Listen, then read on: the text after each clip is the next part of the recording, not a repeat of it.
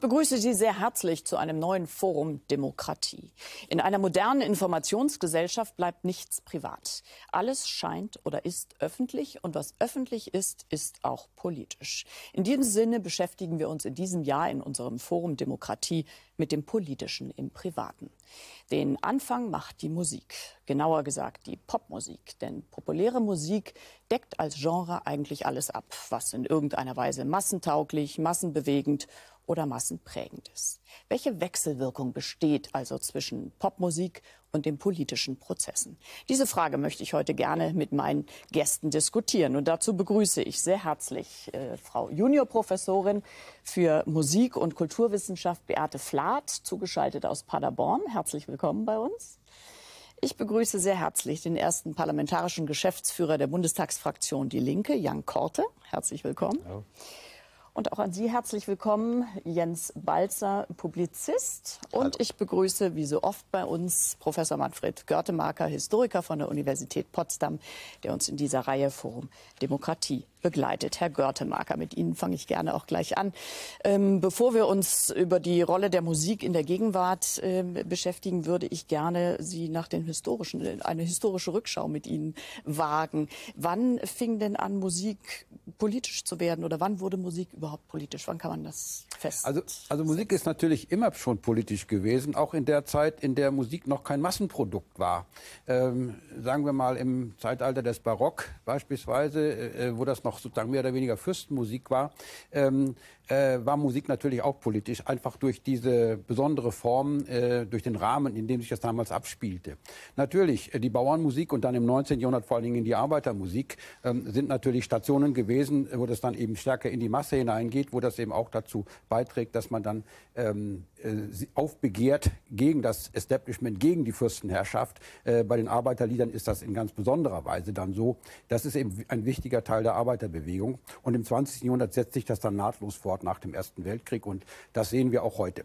Wobei ich aber ähm, das nicht nur auf die Popmusik beziehen würde, sondern die klassische Musik ist natürlich auch in vieler Hinsicht politisch. Also wenn Sie beispielsweise Ludwig van Beethoven denk, äh, denken, äh, der Schillers Ode an die Freude vertont hat, ähm, das ist natürlich eminent politische Musik gewesen zu Beginn des, ähm, des 19. Jahrhunderts. 1824, glaube ich, ist das so aufgeführt worden. Und das ist heute die Europahymne. Das zeigt ja auch, da, wie politisch Musik eigentlich immer gewesen ist, auch die klassische Musik.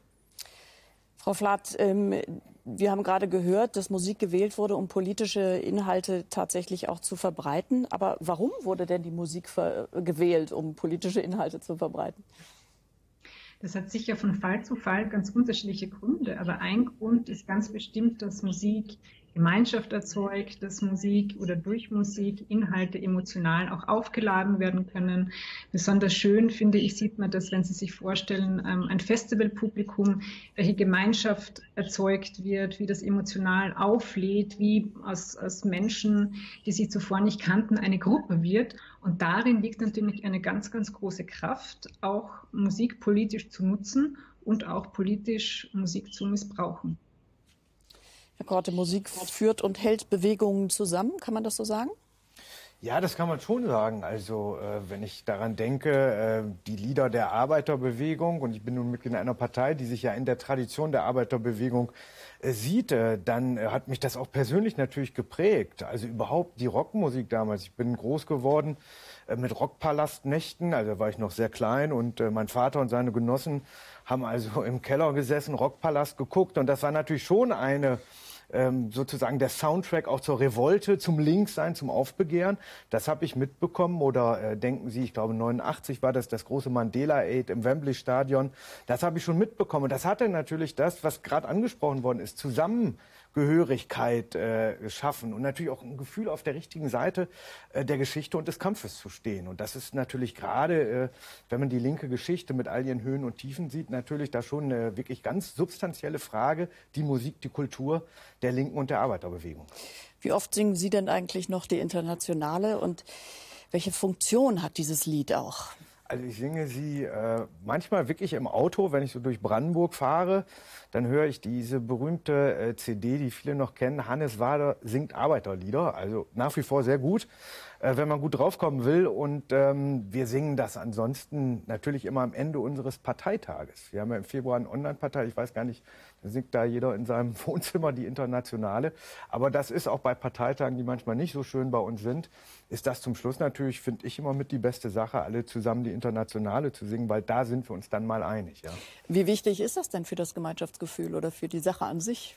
Ach, ich finde, das hat auch was mit Selbstvergewisserung zu tun. Also bei all den Unsicherheiten, die es so gibt, gerade auch bei den ganzen Niederlagen, die wir als Linke, damit meine ich jetzt gar nicht nur die Linke als Partei, sondern die gesellschaftliche Linke, da kann man ja nicht sagen, dass das gerade überall gut läuft. Und äh, wenn man dann auch mal zurückblickt auf diese Musik, die auch die alten Lieder noch mal zu hören, äh, dann gibt das schon äh, wieder so ein bisschen Kraft. Das klingt ein bisschen bizarr für Leute, die da nicht so drin sind, aber äh, das ist äh, schon und das ist auch notwendig, denn ich glaube auch für eine Linke oder für Fortschrittliche, auch für Liberale, ist ja schon eine bestimmte Tradition und der Selbstvergewisserung, wo man eigentlich herkommt.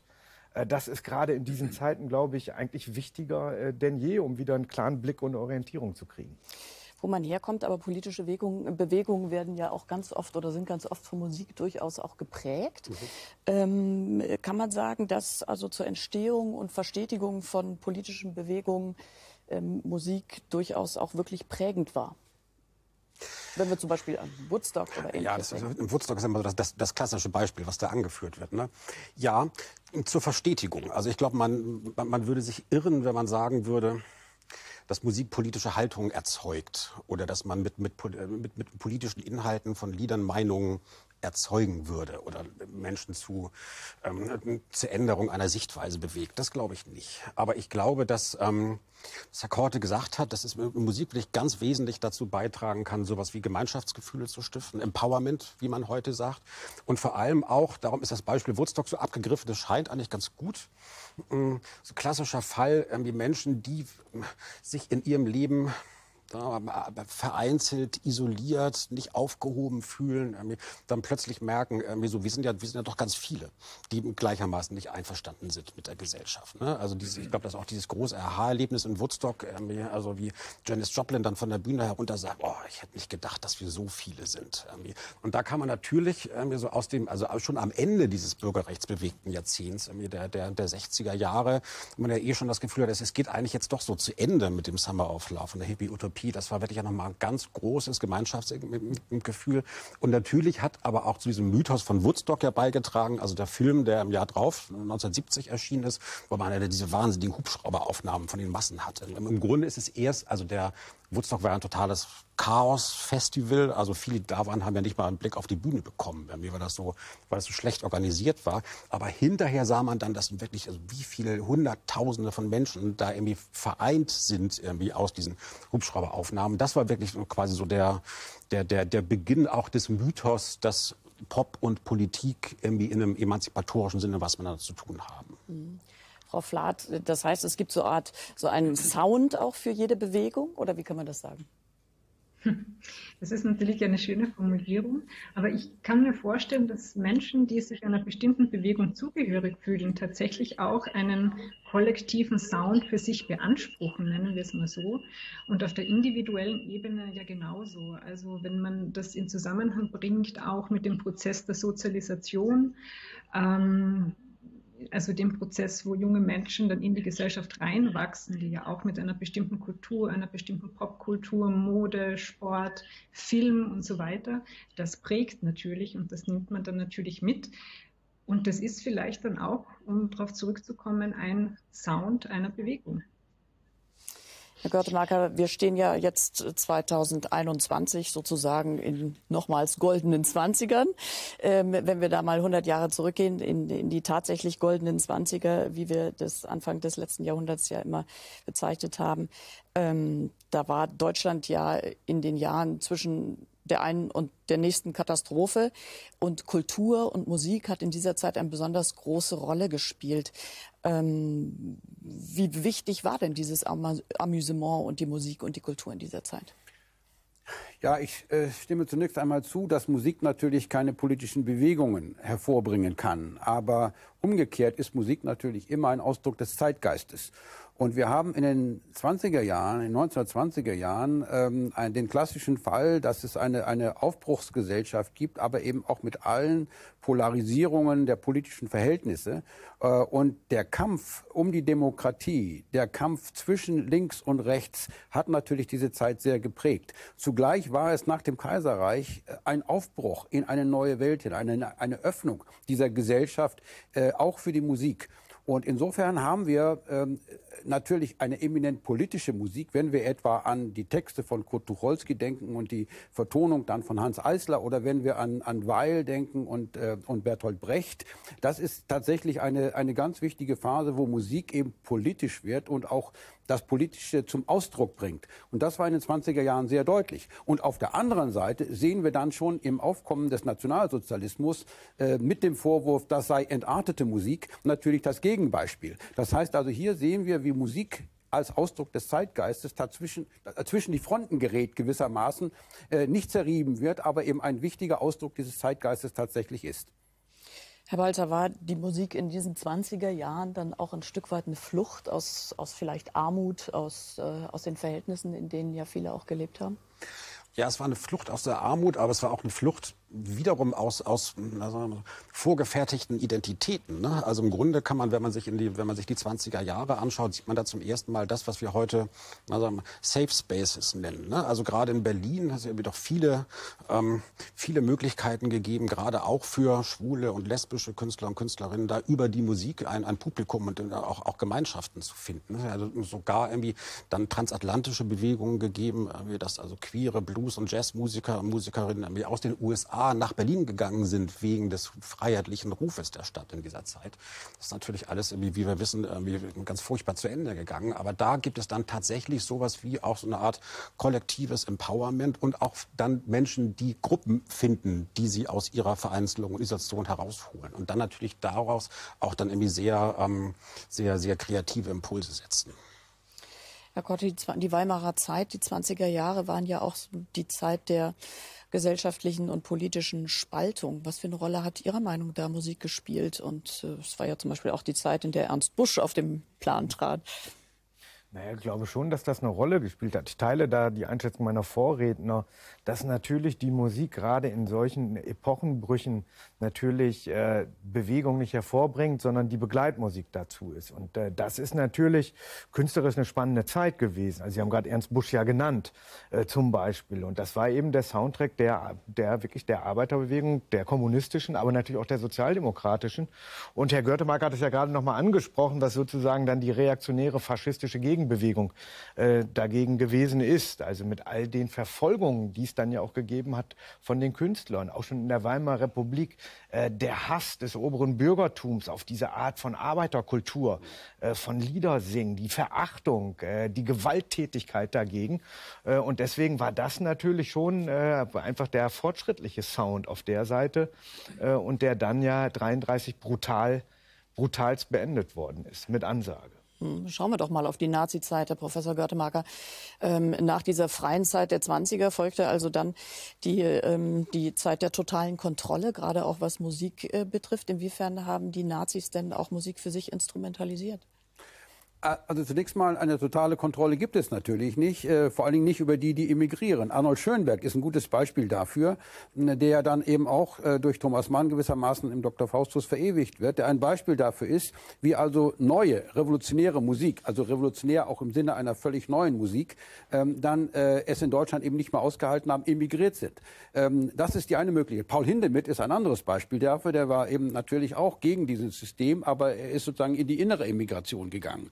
Die Nazis selber haben natürlich die Musik wiederum benutzt, um tatsächlich für ihre Massenveranstaltungen, die Nürnberger Parteitage, aber eben auch ähm, die äh, in, in, in jedem kleinen Ort praktisch äh, durch, durch ihre Aufmärsche mit Marschmusik, äh, mit Heimatmusik und so weiter ein, ein, ein Gefühl von Identität zu erzeugen und gleichzeitig durch die Verdammung dessen, was sie als entartete Musik oder in anderen Bereichen als entartete Kunst bezeichneten, dann das Fremde auszuschließen. Das heißt, sie haben auch versucht, Identität zu stiften, und hier spielt Musik eine, eine zentrale Rolle, äh, Identität zu stiften in ihrem Sinne, in ihrem arischen Sinne, äh, mit all den Folgen, die das hatte. Und das hat natürlich politisch dann auch zur Folge gehabt, dass die Deutschen dann in vieler Hinsicht eben auch provinziell geworden sind. Denn das, was hier passierte, war natürlich ein Rückfall in eine Zeit, die in den 20er Jahren eigentlich schon überwunden schien. Und dann ist es mit den Experimenten vorbei, dann wird es gleichgeschaltet. Ähm, man hat nicht alles unter Kontrolle, aber doch sehr vieles. Äh, und dann kommt das dabei heraus, was wir sozusagen als intellektuelle Katastrophe auch in der Musik erleben. Herr Kort, ich mache mal den Sprung in die, in die Nachkriegszeit, die ja dadurch auch geprägt war, dass wir zwei unterschiedlich gesellschaftliche konkurrierende Systeme hatten. Inwiefern hat sich das denn äh, auch in der Musik und in der Popkultur manifestiert, äh, Ost und West? Naja, eins ist ja, glaube ich, schon mal ganz interessant, wenn man da anknüpft an den äh, NS-Faschismus. Es waren ja schon natürlich auch äh, die Kulturfunktionäre des Nationalsozialismus waren danach auch die Kulturfunktionäre in der Bundesrepublik. Das heißt, wir hatten ja Kontinuitäten. Das waren ja nicht nur die Eliten, also so, so äh, Nazis wie Globke, was jeder kennt, sondern das war ja strukturell. Und die haben natürlich erheblich, wenn man sich allein den Rundfunk und sowas anguckt, erheblichen Einfluss gehabt und hatten natürlich kein Interesse äh, an Aufbrüchen, die Verkrustungen, also diese grässliche Adenauer Zeit, das muss ja fürchterlich gewesen sein, äh, kulturell. Und äh, das begann dann natürlich wirklich, äh, glaube ich, und das war dann nicht nur ein Soundtrack, sondern da hatte ja in der Tat Musik und die Kultur, die sie verkörpert hat, hatte ja soziale Sprengkraft. Das war nicht nur noch Sound, sondern das hatte Sprengkraft. Das hatte real revolutionäres Potenzial. Also ich finde, das kann man daran gut erkennen, wozu Musik dann auch führen kann. Weil äh, wenn man sich die Berichte, ich habe jetzt noch mal ein bisschen gelesen über die Adenauer Zeit äh, vor der Sendung, äh, das sind ja, kann man sich ja heute ja nicht mehr vorstellen, was für kulturell wie klein, eng und miefig und überall rannten noch die alten Nazis äh, rum, äh, die damals die Jazzmusiker malträtiert hatten. Die saßen dann da immer noch überall rum. So, das muss man sich ja noch mal vergegenwärtigen. Und das finde ich hm, interessant, dass es da dann den Sprung gegeben hat von einem Soundtrack, wenn man so will, der Bewegung, wo auf einmal dann Musik, äh, vor allem dann natürlich auch äh, die, äh, die Rockmusik, mhm. Äh, richtige Sprengkraft hatte. Also es war sozusagen äh, der, der Treibstoff, wenn man so will, äh, für das, was dann glücklicherweise äh, mit 68 was Folgen dann, auch kam. Was dann später kam. Herr Görtemacker, Sie haben sich gleich gemeldet. Inwiefern hat denn heile Weltmusik in, zu der Zeit auch noch mal ein Stück weit also eine ich, Rolle gespielt? Ich, ich, will dem nicht widersprechen. Ich möchte es aber ergänzen. Äh, mhm. wir haben natürlich auf der einen Seite haben wir sozusagen die rauschenden Birken und, äh, und äh, das, das alte Försterhaus äh, und den Heimatfilm. Das ist völlig richtig. Das ist oder, auch, oder die Badehose. Wir sehen im Hintergrund ist, nämlich gerade Das ist eben auch die Adenauer Zeit. Aber wir haben natürlich schon auch etwas anderes. Und die Alliierten beispielsweise haben nach 1945 ähm, äh, so etwas wie, wie Edutainment versucht, wie man das damals genannt hat. Also neben der Re-Education, der Umerziehung, tatsächlich auch eine, eine, eine Umerziehung in diesem äh, Musikbereich zu machen. Und sie haben den Jazz zum Beispiel systematisch ge äh, gefördert. Äh, sie haben beim NWDR, den es heute ja nicht mehr gibt, also damals WDR und NDR zusammen, haben sie, eine, eine, haben sie also Jazzbands gegründet extra, weil sie das eben tatsächlich für eine Möglichkeit hielten, Einfluss zu nehmen auf die jungen Menschen in Deutschland äh, und damit so etwas wie eine Demokratisierung auch herbeizuführen. Also Re-Education zu ergänzen durch Re-Edutainment, ein ganz interessanter Ansatz. Und tatsächlich ist es ja auch so, dass äh, sich das doch weitgehend aufspaltet. Wir haben auf der einen Seite das, was Herr Korte gerade gesagt hat, wir haben auf der anderen Seite aber durchaus auch ein eine, auch, auch neue Ansätze, die auch schon erkennbar sind. Die kommen nicht so sehr aus Deutschland selber, sondern aus dem Ausland nach Deutschland hinein. Und hier ist auch durchaus Neugier vorhanden für dieses Neue. Ja, das war natürlich auch aber ganz wichtig ab Mitte, Ende der 50er Jahre, jedenfalls in Westdeutschland, eine, eine Musik zu hören, die erstmal amerikanisch war, weil das Amerikanische war ja gewissermaßen der, der Bruch mit der Nazi-Vergangenheit. Also man, man wollte ja alles irgendwie, aber nicht, nicht deutsch sein und keine deutsche Musik hören. Also man, und dann natürlich ähm, war gerade so die, also die erste halbstarke Musik, also die Ankunft der, der, der, der Rockmusik in der, in der jungen Bundesrepublik hat natürlich auch viel damit zu tun, dass mh, mm, dass sich eine Generation abkoppelte von, von so einer bildungsbürgerlichen Tradition, die natürlich einerseits belastet war, aber zum anderen auch eben jetzt auch ganz ohne diese Belastung von Institutionen irgendwie gelehrt wurde, weitergegeben wurde, an denen vorbei man leben wollte. Und Rockmusik war das, was man sich selber eroberte und womit man auch irgendwie ganz, ganz offensiv, also das ist ja nicht erst in den 60ern passiert, schon in den 50ern gegen staatliche Autoritäten und gegen pädagogische Autoritäten ein Zeichen setzen konnte. Wir brauchen euch nicht. Wir haben unsere eigene Kultur und diese, das ist natürlich dann irgendwie sehr wichtig geworden, dieser Distinktionsgedanke, also auch da eine Form von, von, von Gemeinschaftsbildung. Also wir, wir haben hier eine Gemeinschaft von, von Menschen, die nicht mitmachen wollen und es ist halt erstmal nur in diesem kulturellen System nicht mitmachen wollen, das unsere Eltern uns hinterlassen haben.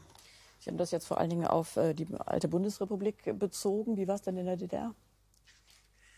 Da gibt es das auch. Aber hat mein, mein, Kollege Bodo Mrozek aus Potsdam ein hervorragendes Buch drüber geschrieben. Kann ich, kann ich sehr empfehlen, wo er die, die, die, die, die halbstarken Bewegungen im, im Westen und Osten miteinander verglichen hat. Da gibt es tatsächlich auch, natürlich unter, unter sehr, sehr viel stärkerer staatlicher Repression, dann irgendwie so Versuche, sich so, eine eigene, eigene musikalische Form anzueignen. Man kann da bis in die bis in die 70er Jahre Parallelen sehen, aber natürlich gibt es dann keine, keine Tradition, die sich da herausgebildet hat. Ne? Also schon einfach, weil, weil diese, diese Transmission irgendwie das, also das aus, dem, aus dem amerikanischen Raum irgendwie zu übernehmen, irgendwie da in der Form nicht stattgefunden hat.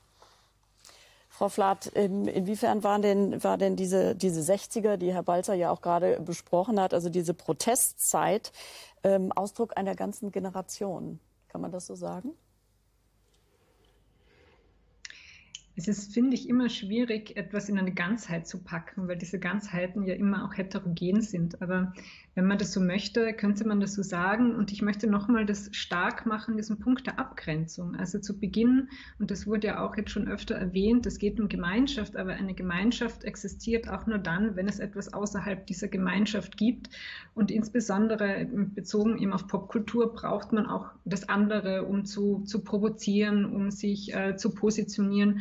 Und jetzt nochmal, ähm, um an die Vorredner anzuknüpfen, auch bezogen auf ähm, 50er, 60er, also auch Twist oder Rock'n'Roll, da gab es ja auch wirklich von der Seite der Wissenschaft ähm, Zugänge, die diese Musik und die Rezipienten pathologisiert haben. Also das wurde dann wirklich in diese sehr sexistische, rassistische, pathologisierende Ecke gestellt. Also die Menschen, die diese Musik hören oder die tanzen, die werden krank oder sind krank, bis hin zu wirklich orthopädischen Vorwürfen, also die, die Twist tanzen, haben es dann irgendwie mit dem Kreuz oder so irgendwie. Also da gab es wirklich eine breite wissenschaftliche Gegenwehr auch gegen diesen Aufbruch. Das darf man nicht vergessen. Herr Korte, auch das linksprogressive Lied entsteht ja aus einer Art Protest heraus. Ich nenne da zum Beispiel Konstantin Wader oder eben ähm, Hannes Wader oder Konstantin Wecker. Jetzt habe ich die beiden miteinander ganz seltsam äh, verwoben. Ähm, aber das schafft es nicht in den Mainstream. Aber würden Sie sagen, das ist schon so eine, eine Wurzel auch gesellschaftlicher links- und grüner äh, Bestrebungen, die es da gibt? Ja, das glaube ich schon. Ähm, interessant ist ja nochmal, warum Hannes Wader nicht im Mainstream war, weil er nämlich auch von den Öffentlich-Rechtlichen natürlich boykottiert wurde, weil er ein strammer Linker war. Der war ja irgendwie auch ein Mitglied in der DKP und äh, also das muss man ja auch noch mal sagen, wie das damals gewesen ist, äh, wie mit Hannes Wader zum Beispiel umgegangen ist. Aber ich glaube schon, dass das da ähm, schon eine Traditionslinie ist. Also gerade wenn man Hannes Wader, Konstantin Wecker nimmt, also sowohl parteipolitisch gibt es da ja Identifikationen, äh, das kenne ich aus meiner Partei, aber ich erinnere mich natürlich auch, äh, als ich Kind war. Also ich komme aus einer klassischen Alt-68er westdeutschen Familie und musste dazu jeder Demo mitlatschen mit äh, Friedenstauben Luftballon. Und äh, das war ähm, äh, schon der Sound. Auch Honnes Wader zu hören, nachzuspielen. Also ich komme in Niedersachsen auf dem Land und da äh, hatte so die, die versprengten Linken und Friedensfreunde hatten so ein altes Bauernhaus, Friedenskotten hieß das. Und da gab es auch einen Proberaum und die hatten da irgendwie so eine Friedensband, keine Ahnung, wie das damals so hieß halt. Und äh, da wurde halt wirklich äh, viel Hannes Wader nachgespielt, auch zusammen gesungen abends. Also daran kann ich mich als Kind noch sehr gut äh, erinnern und äh, dann ist das ja eigentlich fast verschwunden. Und auch bei mir, ich habe das jetzt erst in letzter Zeit mal wieder mir die alten Scheiben da mal rausgehört, mit meinen Eltern dann noch mal drüber gesprochen, äh, was das für sie eigentlich auch bedeutet hat, äh, diese Musik. Und das glaube ich schon, ähm, dass was das... hat es denn bedeutet? Na, ich glaube, das hat erstmal natürlich eine künstlerische äh, Transportierung von meiner Position. Also mal ganz klassisch gesagt, von einer ordentlichen Klassen von ordentlicher Klassenstandpunkt. Da ist ja natürlich auch gerade aus dem englischsprachigen Raum in der Zeit nehmen Sie von The Who Quadrophenia. Also ein opulentes Werk, was gemacht wurde wo sozusagen mittels dann der Rockmusik, ähm, gar nicht, dass das äh, propagandistisch Agitprop-Musik gewesen ist, aber zum Beispiel die Geschichte von einem Mod erzählt wird, der aus der Arbeiterklasse kommt, der rumgeschubst wird, der scheiße behandelt wurde, von den Bossen terrorisiert wurde das war schon, auch wenn ich so, es lohnt mit den Alten hin und wieder mal zu reden. Also wie die Kämpfe gelaufen sind. Übrigens auch lohnt es, um zu sehen, dass man nicht so werden sollte wie einige. Äh, aber das war natürlich schon. Also kurz zusammengefasst, das war damals die Musik, die Analyse der eigenen Sichtweise auf die Welt geliefert hat und gleichzeitig das damit verknüpfte, in der Tat Mut zu machen. Mut für den Kampf zu machen. Und da darf ich da äh, noch einen, einen Punkt hinzufügen, weil ähm, natürlich war dann irgendwie auch, auch Hannes Wader irgendwie und, und äh, solche Liedermacher, so ein Festival des politischen Liedes und, und so, natürlich auch deswegen so populär in der, gerade in der Westlinken weil sich die Westlinke mit dem amerikanisch beeinflussten Pop und der Rockmusik ja auch in ganz weiten Teilen nicht identifizieren konnte. Also die war ja im Grunde, die, die Westlinke war ja genauso antiamerikanisch ähm, wie, wie die alte Westrechte. Also da kam eben so im, im, im Vorbehalt gegen die amerikanische Kulturindustrie, kamen sich die alten Rechten und die alten Linken eigentlich, haben, haben sich da nicht viel gegeben. Und wenn man sich ansieht, wie, also lohnt sich immer auch mal von den Alten lernen, mal nochmal so, so K-Gruppen, Pamphlete aus den frühen 70ern durchzulesen. Aber alles, was auch nur annähernd irgendwie, irgendwie aus den USA kam, irgendwie von vornherein natürlich immer unter Kulturimperialismus Verdacht, inklusive natürlich auch afroamerikanischer Musik. Also wir haben, es klang eben schon an, natürlich in, in den 50ern und 60ern ist Rockmusik in Westdeutschland eben ganz stark auch unter rassistischen Vorbehalt gestellt worden. Also N-Wort-Musik, ne, Hottentotten-Musik und was man damals so sagte dieses klassische bildungsbürgerliche Ressentiment. Und dieses Ressentiment zieht sich aber in, in, den 70ern auch tatsächlich bis in die westliche Linke. Also es war alles, was irgendwie aus Amerika kommt, inklusive der afroamerikanischen Emanzipationsmusik, also inklusive des Soul und später gerade auch in den 70ern Disco-Musik, ganz wichtig für die, ähm, ähm, für die schwarze Emanzipation in den 70ern, war, war in, der, in der westlichen Linken absolut verboten und, und, und unter, generell unter Imperialismusverdacht gestellt. Dann blieb halt nur irgendwie Hannes Wader übrig, das ist jetzt mal so zugespitzt zu sagen, und die, und die paar Liedermacher, die es so gab. Irgendwie. Wenn man sich dann ansieht, gab es diese große Friedensdemo irgendwie im Bonner Hofgarten 81, was so dann so als das deutsche Woodstock dargestellt wurde. Und da gab es dann irgendwie Wader und Zupfgeigen, Hansel und so ein paar versprengte Folkbands. Das war musikalisch alles wirklich ganz furchtbar. Irgendwie. Und die Bots sagen dann irgendwie, ne, was, was wollen wir trinken?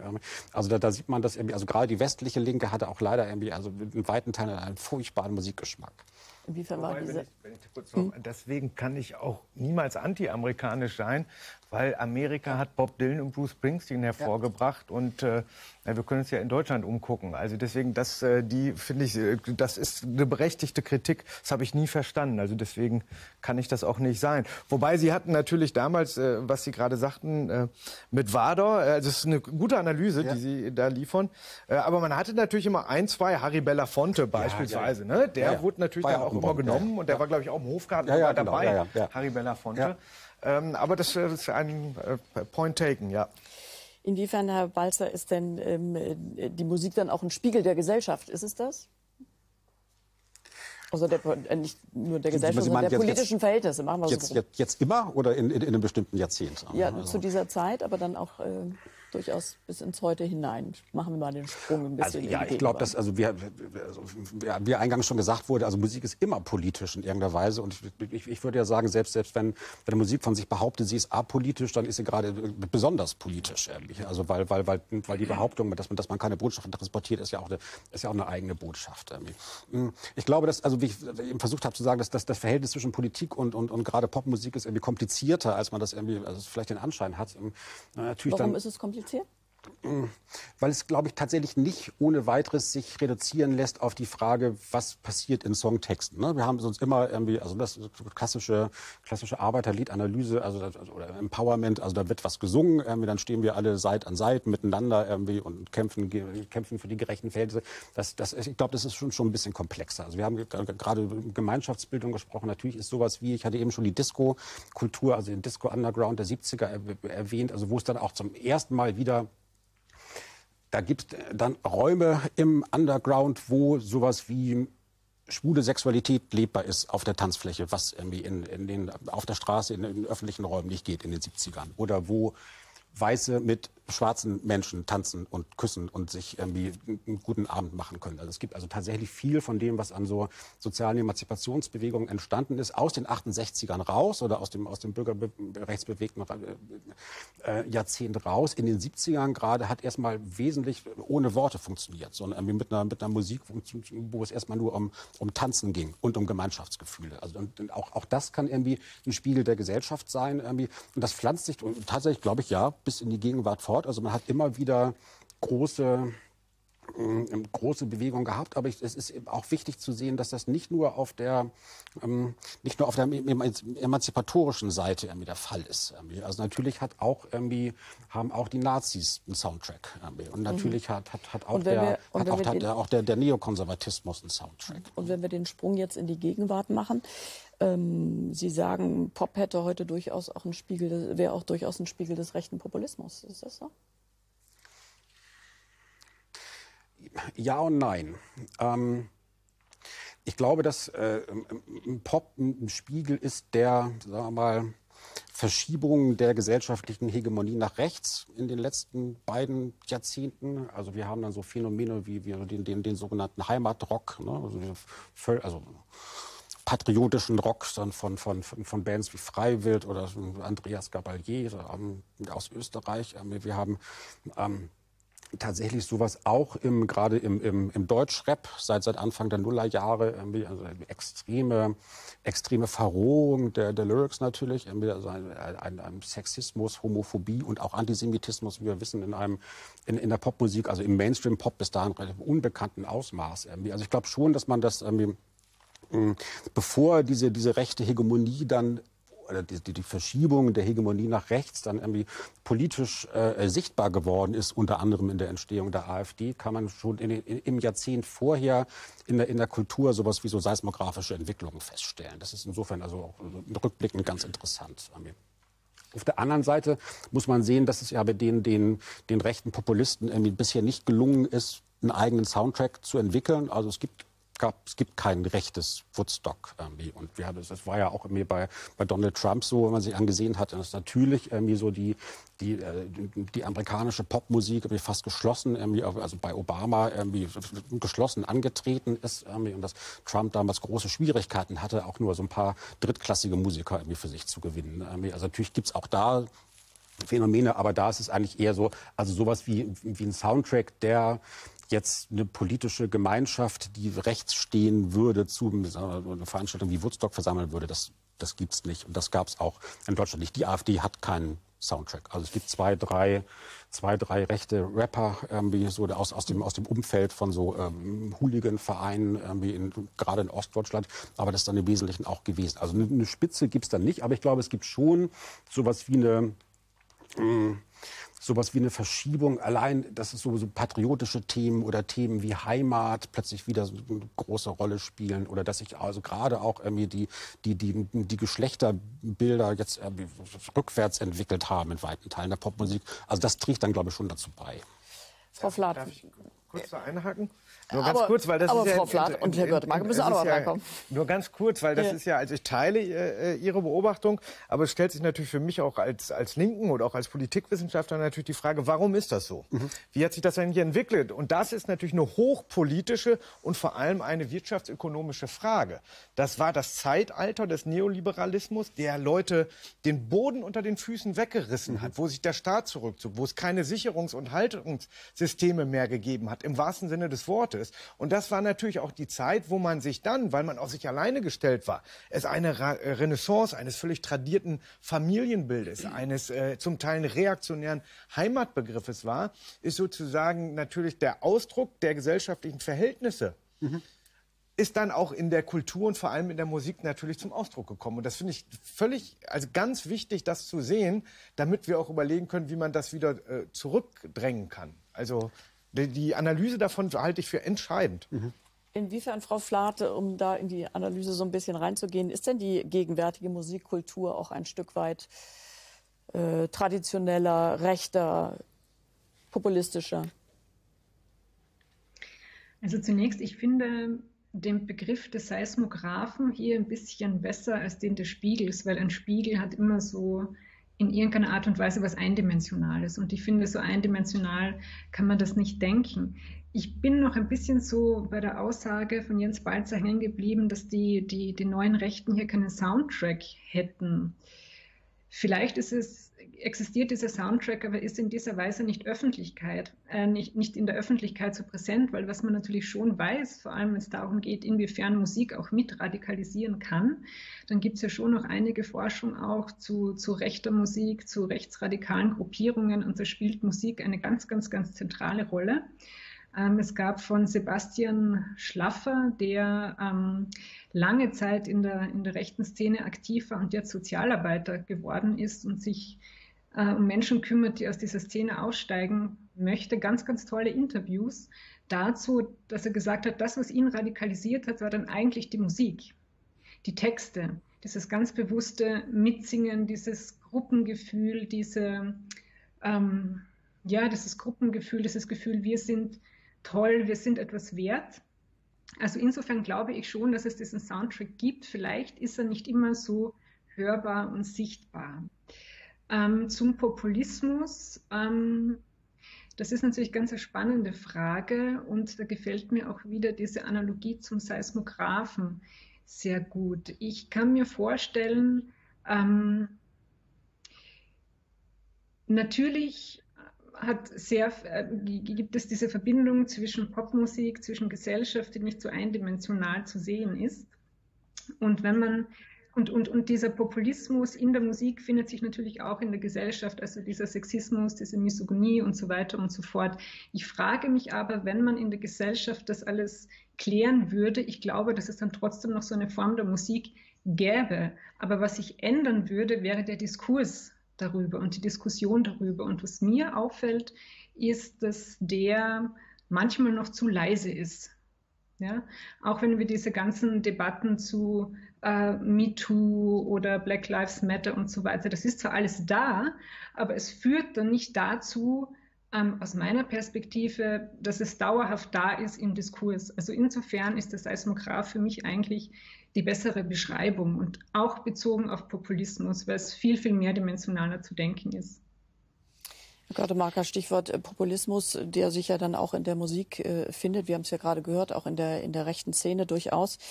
Ähm, die Musiker berufen sich dann natürlich auch immer auf die Freiheit des Grundgesetzes. Ähm, äh, wo setzt das Grundgesetz da denn auch Grenzen letztendlich?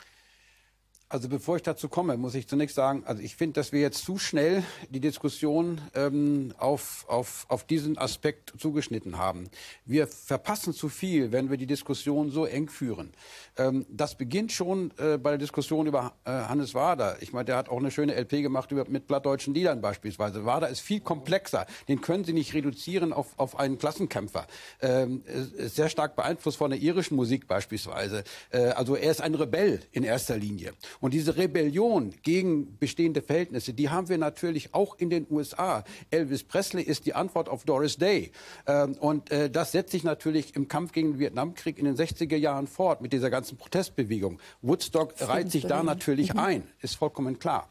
Äh, und das hat natürlich Einflüsse auch auf Deutschland gehabt. Insofern ähm, ist das, was wir jetzt unter Amerikanisierung ähm, oder amerikanischen Einflüssen diskutiert haben, natürlich sehr wichtig gewesen. Aber es führt eben dazu, dass wir eben auch eine groß, einen großen Pluralismus an musikalischen Richtungen bekommen haben. Und diese Einflüsse gibt es nach wie vor. Wir haben eben nicht nur Rechtsrock heute, sondern wir haben vieles andere auch, äh, was eben auch sehr wichtig ist und was wir nicht gleich vernachlässigen dürfen.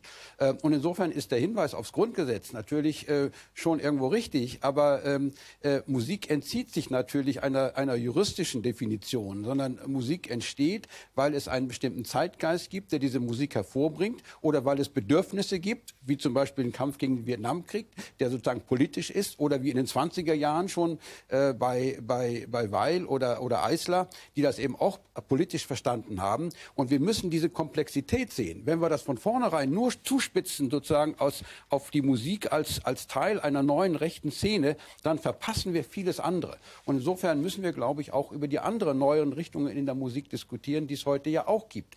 Musik ist heute so pluralistisch, dank auch der modernen Medien, was Sie ja ganz am Anfang Anfang einleitend schon gesagt haben, äh, dass Musik natürlich viel pluralistischer ist, als wir das jemals gehabt haben vielleicht. Insofern äh, sollten wir die Diskussion etwas breiter führen und wir haben ja genügend Experten sozusagen unter uns, um das hier auch zu tun.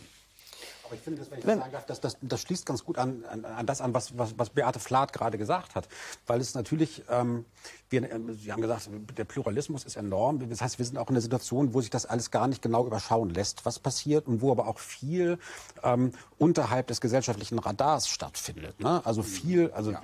ich, hatte eben schon den, den, ähm, den Deutschrap erwähnt. Also viel von dem, was im Deutschrap der letzten Jahre und anderthalb Jahrzehnte passiert ist, ist, ist ja gar nicht, also gar nicht an die größere Öffentlichkeit gedrungen bis es dann irgendwie so äh, Ereignisse gab, wie diese Echo-Debatte ne, über, über, über Kollega und Farid Bang und die, die, die, antisemitischen Zeilen da drin. Also das, und man hat dann, der, der, der, der Rechtsrock, den gibt es natürlich. Es gibt natürlich auch, auch große Festivals, in denen auch sowas wie, wie, wie Gemeinschaftsgeist irgendwie gestiftet wird. Das läuft auch unter dem Radar, sagen wir mal, der, der klassischen Öffentlichkeit, ebenso wie es natürlich auch in, in, in der Gegenwart eine, eine ganz große und immer weiter wachsende Tradition von Musik gibt, in denen sexuelle Minderheiten, minoritäre Bewegungen, die ganze LGBTQ Bewegung, der, deren äh, Emanzipationsbewegung, deren wesentliches Ausdrucksmittel oder eins der wesentlichen Ausdrucksmittel in den letzten Jahren war, war die Musik, gerade die elektronische Musik, gerade der, der,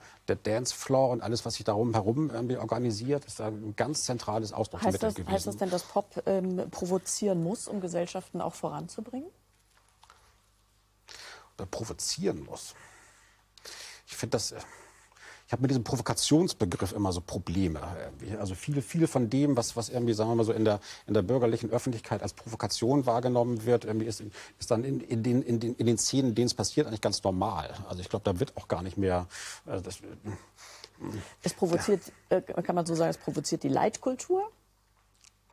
Ach, ich glaube, also ich glaube, der Provokationsbegriff hat sich spätestens in den 80er Jahren erledigt. Also man konnte irgendwie als, als, als Punkrocker konnte man irgendwie sein, seine Eltern oder auch die Hippies oder die Altlinken noch irgendwie damit produzieren, wenn man sich dann irgendwie ein Iro geschnitten hat und vielleicht auch mal so ein kleines keckes Hakenkreuz irgendwie noch mitgetragen hat, irgendwie um den Sozialkundelehrer dann besonders zu ärgern, irgendwie. Also diese, diese, dieses, Zeichen Chaos, was da entfacht wurde.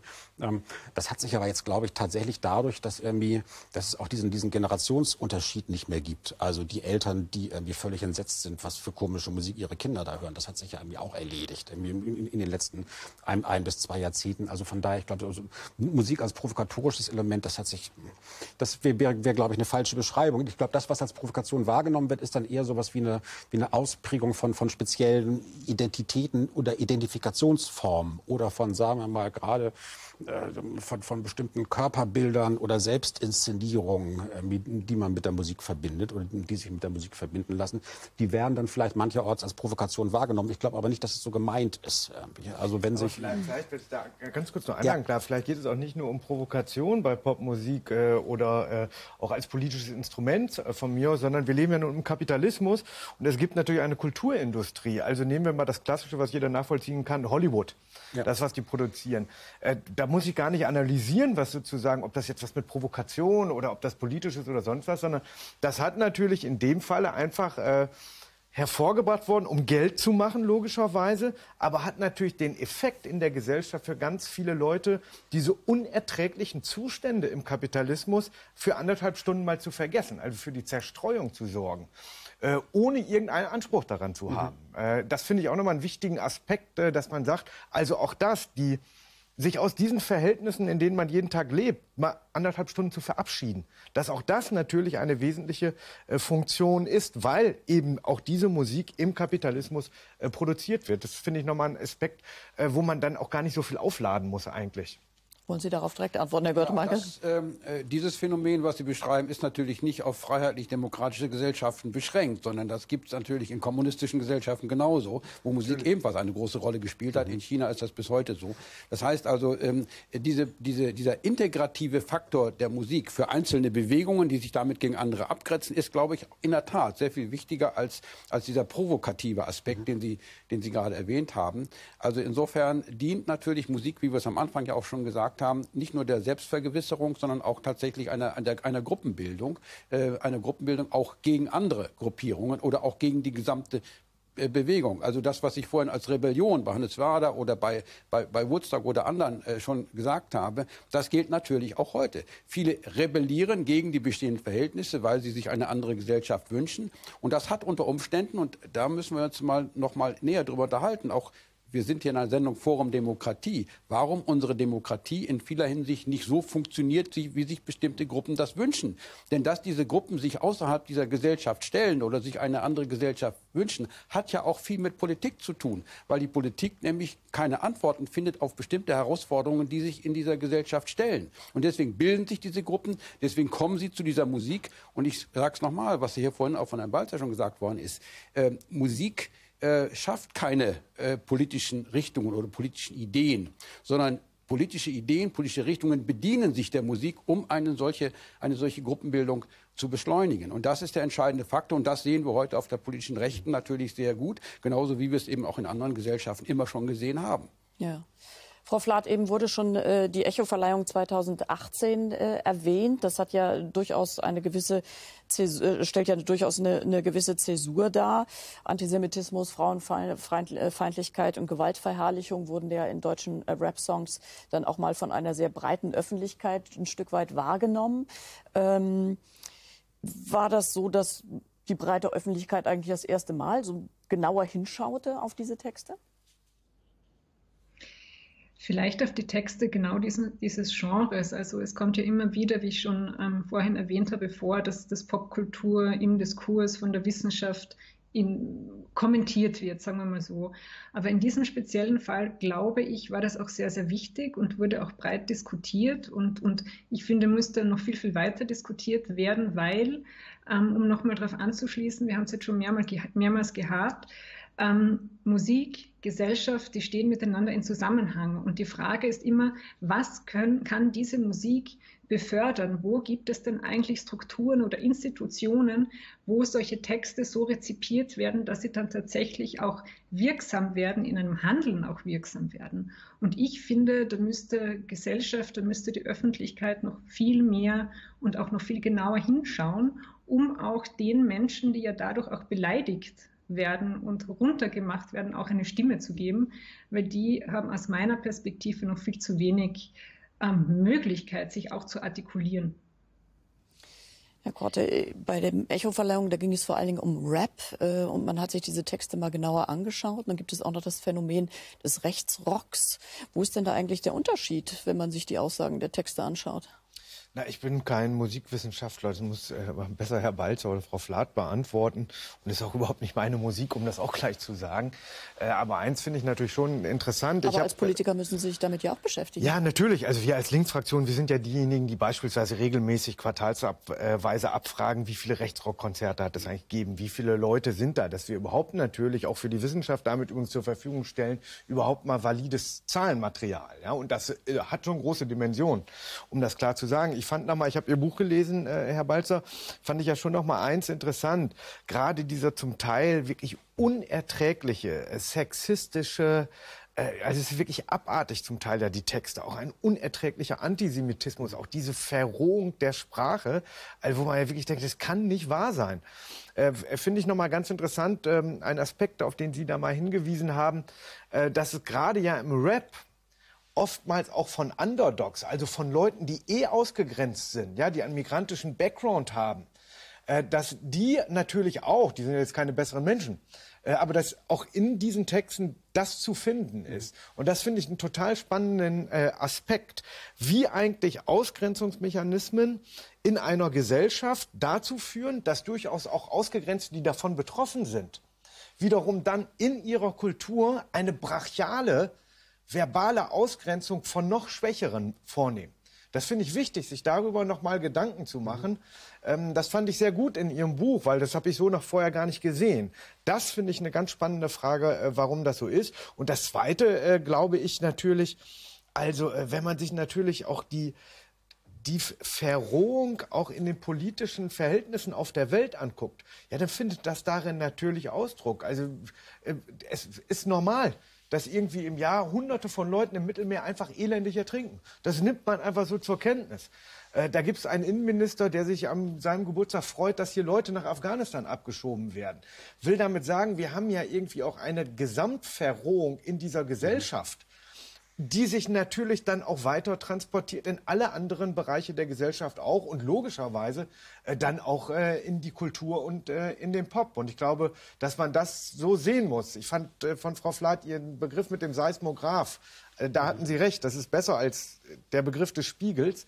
Und äh, da würde ich auch diesen Begriff so anwenden. Das ist natürlich auch ein Stück weit ein Seismograph, auch von wirklich barbarisierten gesellschaftlichen Verhältnissen, wo die Grundannahme ist, der Stärkste gewinnt.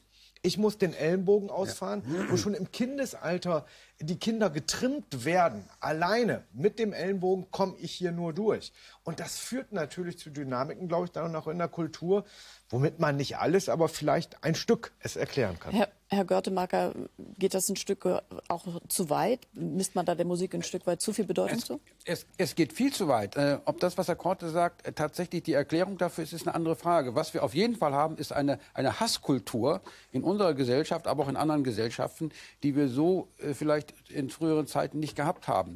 Und das ist natürlich etwas, was einen, einen besorgt stimmt, weil dann natürlich der politische Gegner tatsächlich hasserfüllt ähm, runtergemacht wird. Und das ist eben, eben sehr gefährlich, äh, nach meinem Dafürhalten. Also insofern glaube ich, dass, ähm, dass wir äh, nicht nur in unserer Gesellschaft hier in Deutschland, sondern in den USA haben wir es gerade eben noch mal sehr deutlich erlebt, ähm, äh, vieles dazu tun müssen, um hier zu einer, einer äh, Verständigung zu kommen, auch im Sinne von Demokratie. Das heißt, wenn wir Demokratie praktizieren wollen, dann, dann, dann muss sie bestimmten Regeln folgen. Und wenn diese Regeln verletzt werden, dann hat man ein wirkliches Problem. Und die Hasskultur entsteht natürlich auch aus Hilflosigkeit.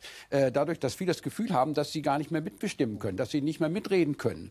Das heißt also, ähm, ich denke mal ein anderes, an ein anderes Beispiel. Ähm, das ist auch interessant, dass sich ja zum Teil linke Texte äh, äh oder das Rechte sich wieder linker Texte bedienen ähm, Ton, äh, Tonsteine Scherben beispielsweise. Mhm. Macht kaputt, was euch kaputt macht. Ein Lied sozusagen, was zu einem politischen Slogan wurde äh, in, in früherer Zeit, wird jetzt von den Rechten ähm, subsumiert. Also das ist doch eine, eine, erstaunliche Entwicklung. Und in beiden Fällen spielt äh, die Tatsache, dass man sich sozusagen hilflos fühlte gegenüber einem Establishment, einer Elite, einer Gesellschaft, in der man selber eben nicht mehr äh, äh, sich entfalten konnte, eine zentrale Rolle. Also insofern, der Hass ist das Ergebnis äh, einer, einer Hilflosigkeit. Äh, und wir müssen wirklich darüber nachdenken, wie wir, einer, wie wir eine Demokratie so gestalten können, dass die Menschen tatsächlich ein Mitwirkungsrecht und ein Mitgestaltungsrecht haben. Und ich sage es nochmal, Musik ist eben äh, ein, äh, ein Ausdruck des Zeitgeistes äh, und nicht umgekehrt. Äh, insofern mhm. äh, haben wir tatsächlich ein Problem, äh, aber das Problem liegt tiefer auch in den politischen Rahmenbedingungen. Herr Korte weiß das sicherlich aus der politischen Praxis viel besser als wir. Ähm, also wie man, wie man oder wie hilflos man sich oft den Entscheidungen gegenüber sieht. Frau also, Flath, Sie hatten sich gemeldet. Dann kommen Sie dran, Herr Walzer. Ja. Genau, vielen Dank. Eigentlich nur ein kurzer Kommentar. Ähm, das ist der Grund, warum ich meinte, dass das viel mehr in die öffentliche Diskussion müsste, weil das dann dazu führen sollte, könnte hoffentlich, dass Gesellschaft auch über sich selber nachdenkt. Weil all das, ähm, was jetzt gesagt wurde, Hass, Sexismus, Rassismus, dass Menschen im Mittelmeer ertrinken und so weiter, diese ganz großen Grausamkeiten, die sind ja da. Und ich habe manchmal den Eindruck, dass es auch manchmal ein Stück weit Bequemlichkeit ist, diese Diskurse dann irgendwann mal wieder abebben ähm, zu lassen. Dann gab es Headlines in den Zeitungen, da wird mal drüber diskutiert und dann verschwindet es wieder und es, es ist wieder weg. Aber eigentlich müsste man, um wirklich dann auch ähm, Gesellschaft mitreflektieren zu können, das viel, viel mehr noch in die Mitte der Öffentlichkeit holen. Herr Balzer, Sie wollten. Beate Flatt, und das nur kurz zu sagen, völlig recht. Also das, nach, nach, der großen Aufregung rund um den Echo ist dann, dann natürlich das, das Thema eigentlich auch relativ zügig dann wieder verschwunden aus, aus den Schlagzeilen. Ne? Wenn, man, wenn man sich jetzt ansieht, was so in den in aktuellen Deutschrap-Charts zum Beispiel ist oder in den aktuellen Spotify-Charts, das ist irgendwie zu wesentlichen Teilen nicht, nicht unbedingt erfreulicher irgendwie als, als das, worüber wir uns beim, beim, beim Echo Gedanken gemacht haben oder, oder aufgeregt haben. Und es ist natürlich sogar in den, in den letzten ein, zwei Jahren noch irgendwie auch der, der Aspekt der, der Verschwörungstheorie Verschwörungstheorien dazugekommen. Also das, das, was uns ja jetzt irgendwie mit, mit QAnon und irgendwie so im, im, im letzten halben Jahr so circa irgendwie auch in Deutschland irgendwie politisch beschäftigt hat, irgendwie das, das findet sich tatsächlich auch schon seit Jahren in, in mehr oder starken Spurenelementen, irgendwie gerade auch irgendwie im, ähm, im, im deutschsprachigen Hip-Hop.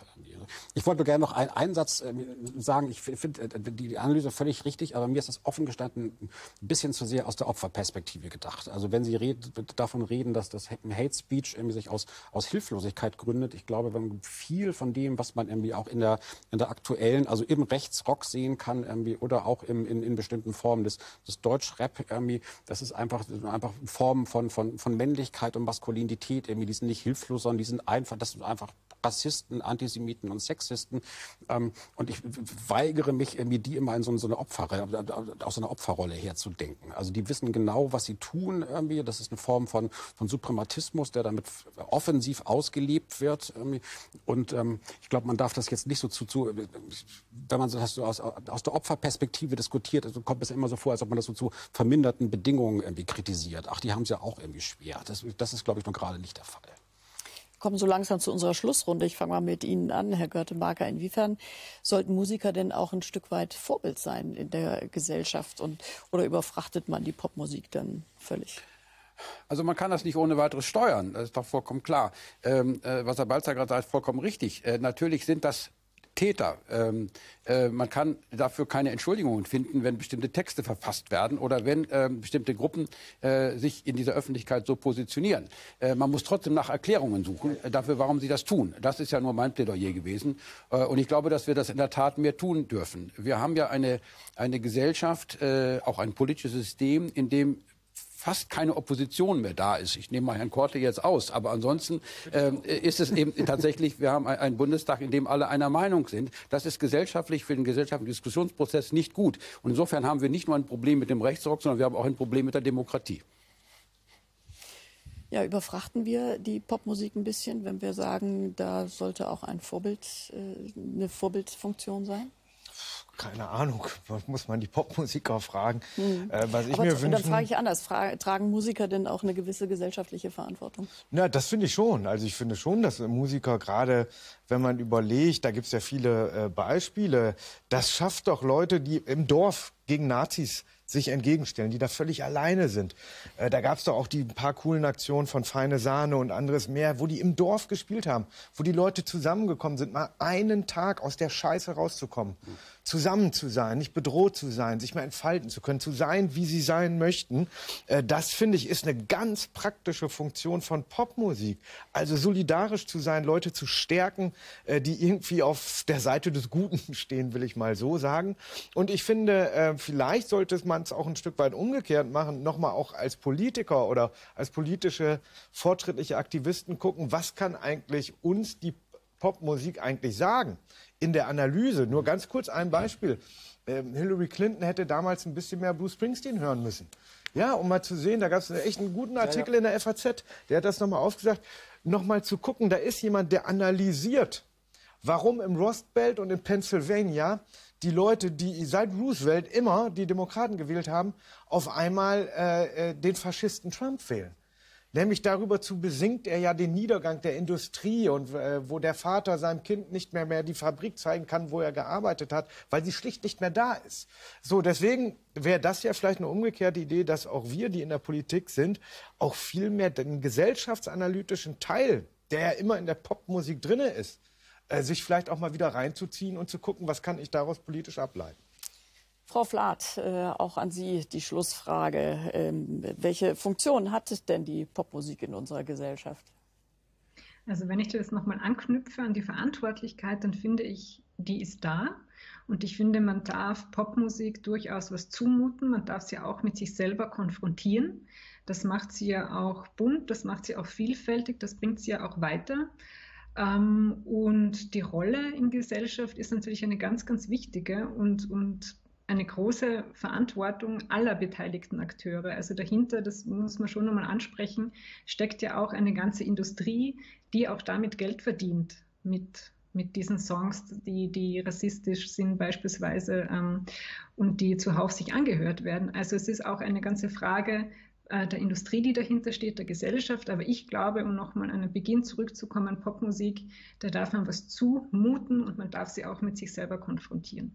Herr Balzer, tragen Musiker eine besondere Verantwortung in unserer Gesellschaft? Eine besondere Verantwortung tragen, weiß ich nicht. Ich würde auch davor warnen, jetzt irgendwie ähm, von Musikern und Musikerinnen zu erwarten, irgendwie, dass sie jetzt auf so, na, sagen wir mal, mit staatstragender Linie irgendwie Kunst machen. Das ist natürlich furchtbar. Also natürlich soll, soll auch immer irgendwie in, in, in verantwortungsloser Weise, wenn, wenn nicht, wenn nicht provoziert, dann noch zumindest überrascht irgendwie werden. Irgendwie. Und, und auch man kann natürlich auch nur künstlerische Freiräume öffnen, wenn man sich den, den Erwartungen der Mehrheitsgesellschaft widersetzt und wenn man, wenn man vielleicht irgendwie die, also auch so den, den, den, den, den korrekten politischen Auftrag erstmal, erstmal zurückweist. Ich glaube, das ist eher dann die Aufgabe der, hm, der Öffentlichkeit. Hat Frau Flath völlig recht, irgendwie das zu beobachten, was da passiert und hm, zu versuchen, das irgendwie einzuordnen irgendwie, oder zu, zu kritisieren und zu kommentieren. Und das ist halt kommt mir so vor, dass äh, alle, alle Formen der, des, des, des kritischen Umgangs mit Musik doch sehr im, ähm, sehr im Verschwinden sind. Das war ja schon mal anders in den 80er und 90er Jahren. Da gab es breite Diskurse darüber, was, was, was Popmusik uns sagt und wie man mit der Popmusik die Welt verändern kann oder auch nicht. Und das ist, äh, das, das, das ist ja, das ist jetzt zurückgegangen. Da wäre es, glaube ich, eher die Aufgabe der, der Öffentlichkeit oder unsere Aufgabe oder Ihre Aufgabe in weiteren Sendungen, äh, mir sich darüber, zu, darüber Gedanken zu machen, was es, das, das sagt, was da eigentlich gerade passiert. Ich glaube, es ist nicht, man kann es nicht irgendwie der, der Seite der, auf, auf, der Seite der Kunst irgendwie abladen. Man muss dann schon selber ähm, den, ähm, in den Blick nehmen, äh, was das, das Wort schon öfter, was, was das Seismografische ist. Das nehme ich doch mal als Schlusswort. Ich bedanke mich sehr herzlich für diese angeregte Diskussion und ich bedanke mich bei Ihnen sehr herzlich fürs Zuschauen. Das war unser Forum Demokratie, diesmal zum Thema Pop. Die Wechselklänge zwischen Pop und Politik haben wir diskutiert. Vielen Dank fürs Zuschauen.